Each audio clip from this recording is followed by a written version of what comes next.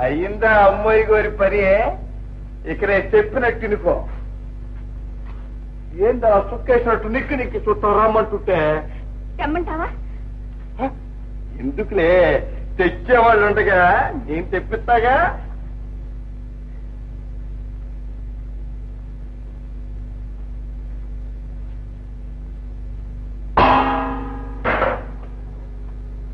సుక్కట్టుకురండి సుక్క సుక్క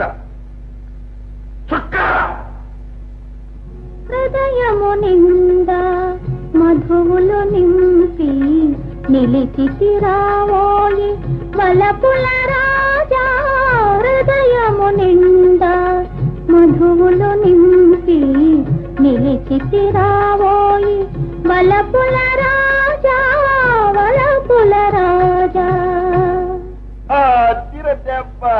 భలే పిల్ల భలే. అది సరే కాని ముంతతో తాగేవాడికి ఇదే సరిపోద్ది అని. మంచి పసంతగా ఉంది పిల్ల పాట అంటే ఇలాంటి పాట కాదు. మంచి పసందైన పదం పాడాలి. ఏంటి పదం? ఎలా ఉండాలి? గాడిద ఓండ్ర పెట్టినట్టు రేవన వరసన పెట్టి ఉతికినట్టు ఉండాలి నా స్వామి బంగారి మావా నా సంద మావా నీదేరా చక్కని చుక్కరా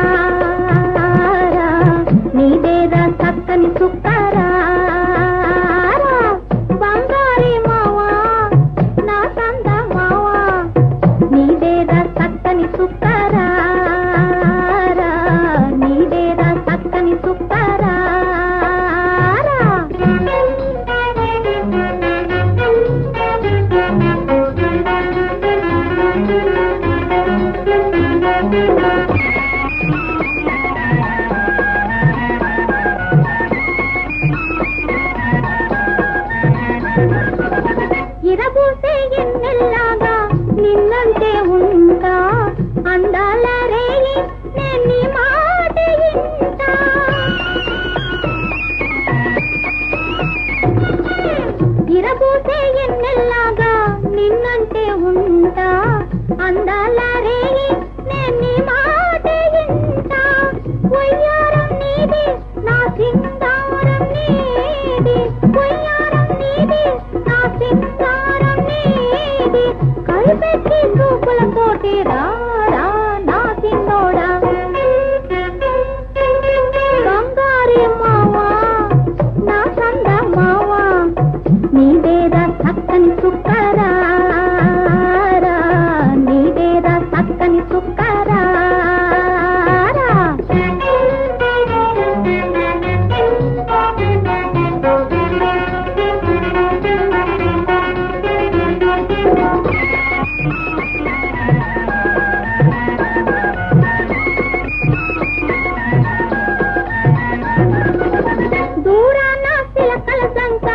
కిల కిల నవ్వే తిరిమల్లె దండ నాసిక నింద నవ్వే.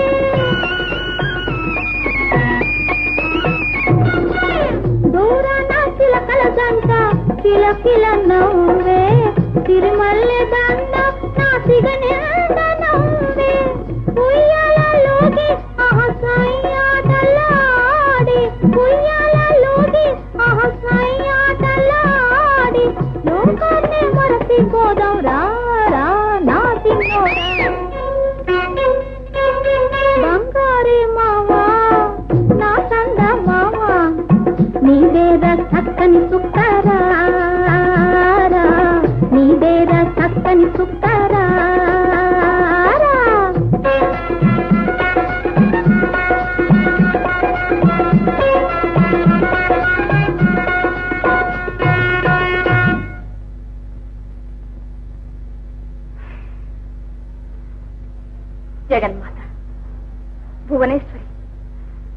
ఇప్పటికీ గండం గడిచింది. ఇక ముందు ఎలా కాపాడతావు?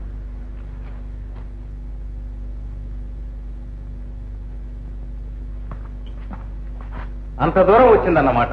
అవును నాన్నగారు. రేపే వివాహ ముహూర్తం పెట్టించడానికి నిశ్చయించాడు మహారాజు. ఆలస్యం అయితే మన పథకం విఫలమవుతుంది. ఆలస్యం ఎందుకు? భువన సుందరుని త్వరలోనే ఇక్కడి నుంచి కదిలించే ఉపాయం చూస్తాను. నీవు నిర్భయంగా వెళ్ళు. సరే నాన్నగారు.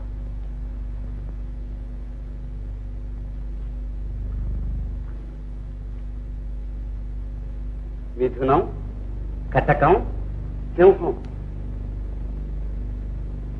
బాగుంది. ప్రభు వధూవరులకు దశదిశ పొంతనాలు చక్కగా సరిపోయాయి.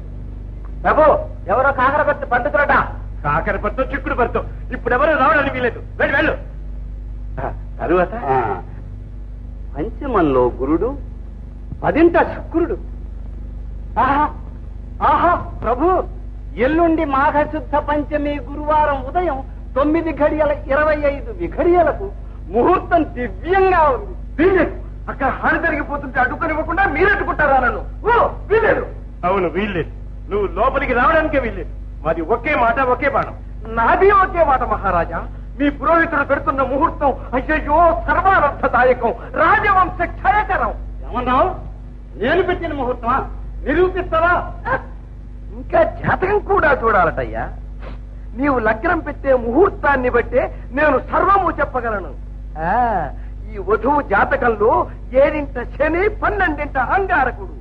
కనుక ఈ వధువుకు వైధవ్యం నీచ సంపర్కం. నోర్మై మా సమక్షంలో మా కూడా అవమానిస్తావా? ఎవరు అక్కడ? ఈ కాకర్ల పండితుడిని కాళ్ళు చేతులు విరిచి కారాగ్రహంలో తోయండి. నేను అదే కోరుతున్నాను మహారాజా. నేను చెప్పింది నిర్ధారణ అయ్యే వరకు చెరసాల్లోనే ఉంటాను. కానీ మరొక్క మాట ఈ వధువును వివాహమాడే వరుడికి మధ్యభ్రమ కలుగుతుంది. మూడవ నెల తిరగకుండానే అమంగళం ప్రతిహత మొగ్గాక అలా జరగకపోతే నా కంఠం తీసేయించండి మంత్రి గారు. ప్రభు ఏమిటిది? ఇక్కడ విషయాలు ఎలాగో తెలుసుకుని ఉన్నట్టున్నాడు ప్రభు. అలాగా? అయితే మీ ఆంతరంగిక విషయాలే చెప్తాను. మహారాజా మూడు సంవత్సరముల క్రితం మీరు కాంచనపురంపై దండెత్తి వాళ్ళ రాజగురువుతో పన్నిన కుట్ర ఒప్పుకున్నాం. ఒప్పుకున్నాం. మీ జ్యోతిష్యం నమ్మాం. అలా కూర్చోండి.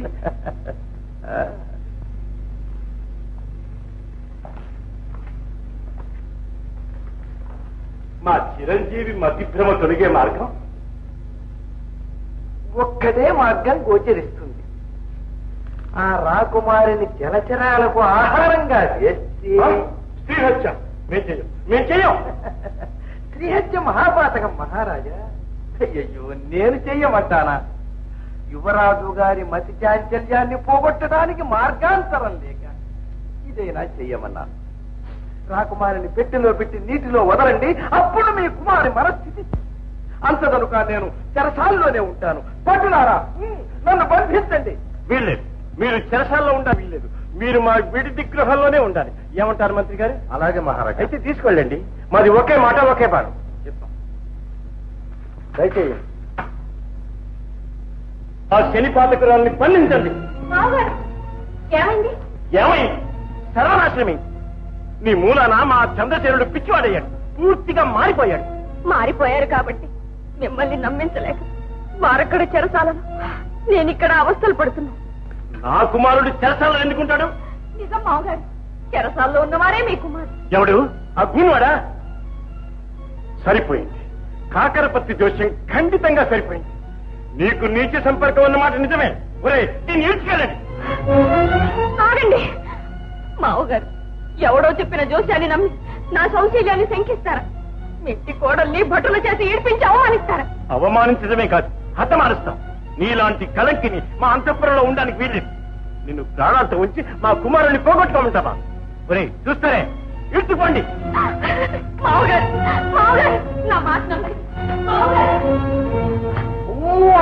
ఏంటో ఏంటో నా పిల్లలు లేకపోతుంటారా ఛీ, నీచుడా నేను నీకు భార్యనా? విన్నావా నాయన? విన్నావా? ఇది నీకు భార్య కాదు. నీ పాలటి మృత్యు కాదు బాబయ్య. నా పిల్లం నా పిల్లం యువరాజును అతని గదిలో బంధించండి. మాది ఒకే మాట ఒకే బాణం.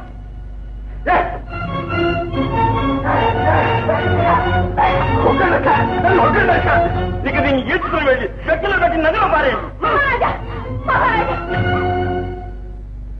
అర్థమైంది కదూ? ఏమాత్రం